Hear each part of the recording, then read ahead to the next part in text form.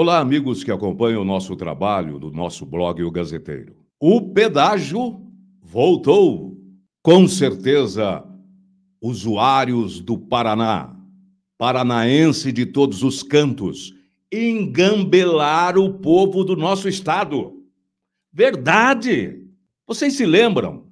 Realizaram trocentas audiências públicas. Deputados fizeram reuniões nas regiões das praças pedageiras, junto à base, os parlamentares se somavam às reivindicações do usuário.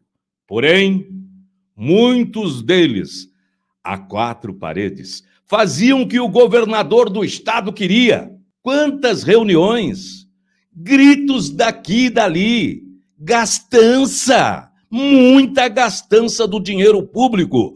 E o chefe mor batia no peito dizendo: vão baixar as tarifas. Até diminuíram alguns valores, mas aumentaram as praças de cobranças e mais, interromperam a trapaça do pedágio antes da eleição. Vamos fazer. Ergueram as cancelas antes das eleições. Agora, com o retorno do funcionamento, nos deram uma verdadeira banana. No pedágio da praça do litoral paranaense, o preço, o preço era R$ 23,30 e no retorno da cobrança vai ser R$ 22,60.